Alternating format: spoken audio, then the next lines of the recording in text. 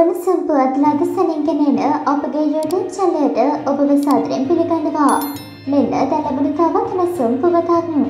විශේෂ අවශ්‍යතා තිබෙන දරියක අපයෝජනයට ලක් කළ අසූ හැවිරිදි පුද්ගලයෙකු මත්තල පොලිසිය විසින් අත්අඩංගුවටගෙන තිබෙනවා. මෙලෙස අත්අඩංගුවටගෙන ඇති සැකකරු හම්බන්තොට ගෝන්වරුව මහහැඩිල්ල ප්‍රදේශයේ පදිංචිකරුවෙක් බව වාර්තා වෙනවා. අපයෝජනයට ලක් වූ පහළොස් හැවිරිදි දරියගේ නිවසට යාබදව මෙම සැකකරු පදිංචිව සිටින අතර නිවසේ කිසිවෙකු නොමැති අවස්ථාවකදී මෙම සැකකරු විසින් බලහත්කාරයෙන් මෙලෙස අපයෝජනයට ලක්කර ඇති බව විමර්ශනවලදී හෙළිවී තිබෙනවා.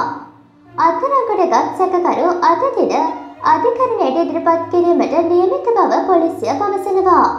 මෙවැනි සම්පුවත් ලද සනින් දැනගැනීම සඳහා අපගේ YouTube චැනලය සබස්ක්‍රයිබ් කර බෙල් අයිකනය ක්‍රියාත්මක